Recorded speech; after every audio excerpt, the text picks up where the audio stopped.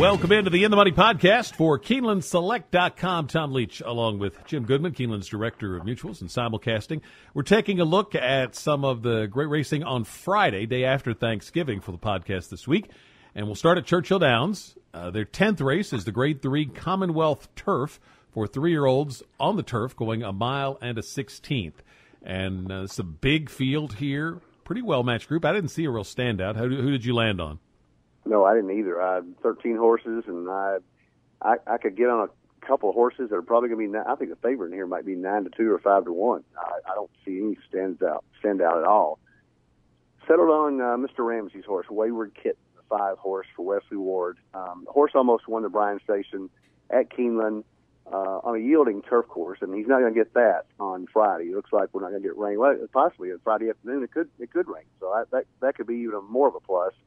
Uh, they are saying it's going to be late Friday, I think now, but uh, um, the yielding turf course, he got beat by three quarters of a length to uh, uh, in the Bryan Station on uh, Breeders' Cup Friday, so that set him up perfectly for this. He's got he went ran the Jefferson Cup at Churchill and ran well. Got beat by a couple couple of these in here, but I think uh, Wayward Kitten takes a step forward. I also like uh, I would key him on top. One go, all go, the eight horse for um, uh, uh, Le Peru and um, came out of the same race and, and had the lead to the top of the stretch and just gave it up again yielding turf course. It might be he might be better on firm tor- firm turf. He had better Beyers in the last couple races. So one go all go is the other horse that I like in the same race. And then the three horse Almasty for Brad Cox, who's been very hot. Uh, Jon Court rides here, stretching out from seven furlongs at Belmont and coming to Churchill, where he's not not one, but Brad Cox is always tough here. And then the other horse that I liked uh, for price, a little bit of price, is Nucifera uh, John Velazquez, the one horse for Graham Motion. Pulled up in the Hawthorne Derby, but uh, walked off and probably is okay, or Graham wouldn't be bringing him back. So that's my four top choices with the uh, five Wayward Kitten Key on top. I'm going to take uh, a little bit of a price play here in Quality Bird. I like horses that uh, improve late in the year like this, and uh, the last two races since uh, this one was put on the turf, Beyer Figs have jumped up and the uh, Ian Wilkes has been able to put several good works into this horse since that win at Keeneland on opening during opening week. So I think quality birds improving coming out of a non-winners of two other than so it's a it's a step up, but I think an improving horse could make that kind of a move into a grade three. It's not a huge jump. So I'm going to try quality bird.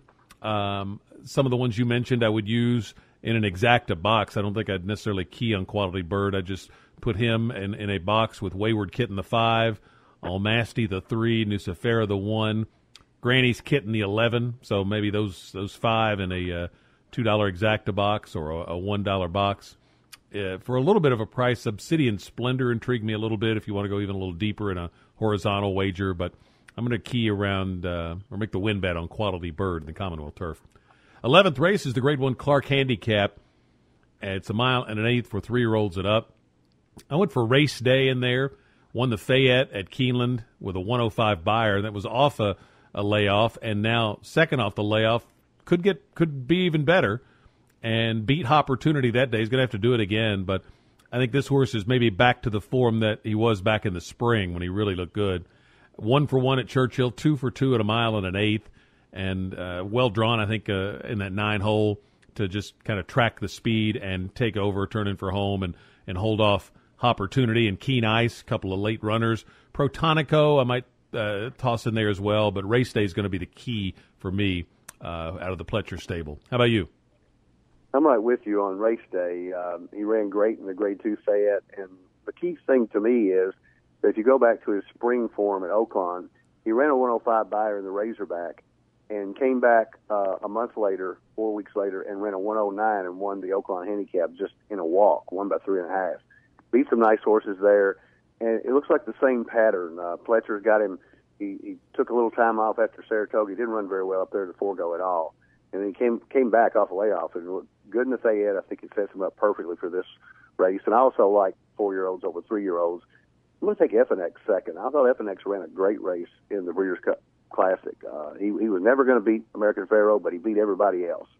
Um, and you know, got 110 Byron got beat by six lengths. Uh, so 110 normally can can win the Breeders' Cup Classic. You just caught a caught a freak horse that day, and uh, Effinex I think comes into this race going the right way and, and has a real shot.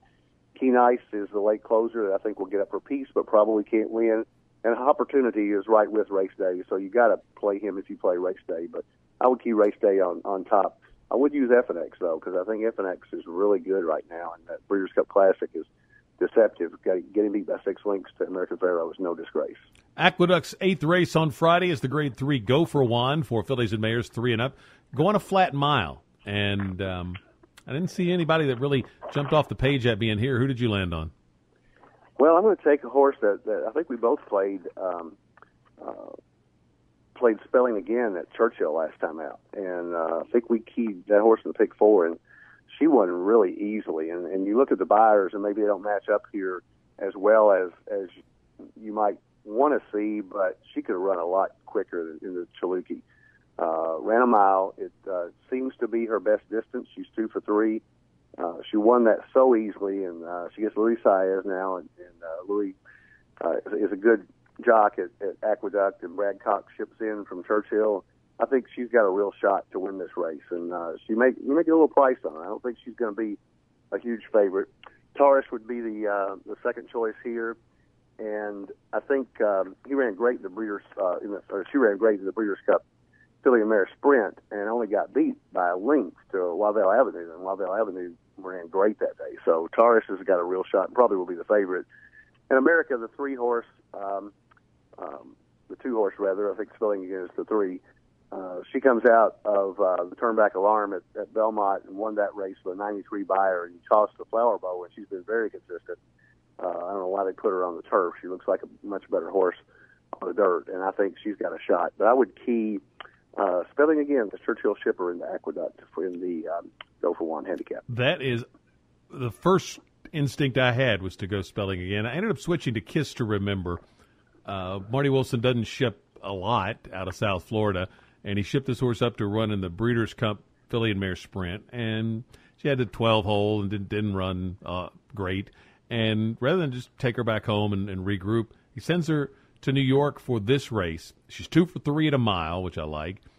She just missed by a length in the Grade One Ballerina. And Irad Ortiz signs on to ride. So just some intriguing things there on the six kiss to remember for me. Definitely use uh, spelling again with her. The one Willett, uh, the seven Mai Ling for Pletcher. But uh, I'm going to try to key on kiss to remember at what hopefully will be a little bit of a price. Del Mar's eighth race on Friday is the Seabiscuit Handicap on the turf at a mile and a 16th for three year olds and up. I took Bal uh, Bali, uh, the Mandella horse that uh, looks so good uh, first time out in this country, and then regressed off that couple of subsequent starts. But that last effort at Del Mar, strong off the layoff, looks like he's back in top form. Mandella's 23% second off this kind of layoff. And uh, I like Bal a Bali a lot there. I'll use him with Seek again, the four, the five, Avanzare and the one uh, macro access, but uh, I like three Bali Bali a lot in there. How about you? I'm right with you. I think um, uh, after shipping up from Brazil, I mean the horse is almost undefeated, 13 for 16, and he's run well every time. He, he fires every time out, and um, I think he's a Bejarano's a good fit for him. Um, I think I think Bio Bali, you know, the prep race on October 30th with an easy win, an optional claimer, could be seen on a really big really big race. And uh, Seek Again is a logical favorite off the back class. Really good efforts in the four star Dave and the Shadwell Turf Mile. But I think Bal a Bali has a uh, home court advantage out here because uh, has really run well at Del Mar the first two times out. Um, the price horse here may be um, Alert Bay, the 8, uh, 11 for 20 lifetime. Gotten really good this fall and I think got a shot to uh, get into the trifecta. But Bal a Bali is my choice as well, and I would single him in the pick four. Best of luck in your wagers this weekend. Some great racing on uh, on Saturday as well. So as Churchill meet finishes up, and they have a big weekend at Aqueduct. So a lot of great racing around the country for the holiday weekend. For Jim Goodman, I'm Tom Leach, and that's the In the Money podcast. This is KeenelandSelect.com.